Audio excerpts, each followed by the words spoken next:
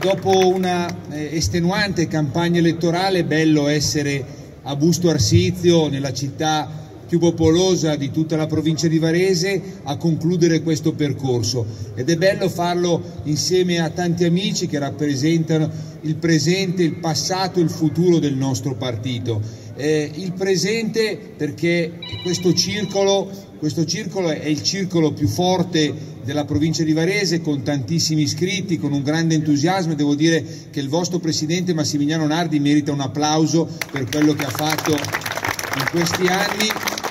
con, con, con grande passione. E io dico ancora al presente con un grande di, della destra eh, provinciale, della destra nazionale che è Nino Pellegata, che è un grande